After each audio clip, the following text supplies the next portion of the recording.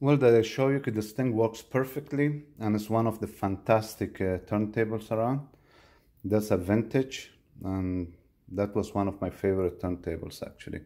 This has been totally recapped, you know, adjust everything, recapped, cleaned from inside out. So for one miracle, I found the original uh, stylus replacement from Germany and it's a brand new stylus. So that was great. So that's it. I hope so you like it. Bit uh, with confidence. I got a very good uh, reputation on eBay. And uh, of course, there is some sign of use because, you know, it's old, you know, some marks, but this marks can be buffed easily. So there are some marks here, you can buff it, you know, on the metal. And it's very easily, easily you can remove this side, this metal side and buff it. The rest of it are some marks here in this corner and just a little bit here and rest of it is pretty good.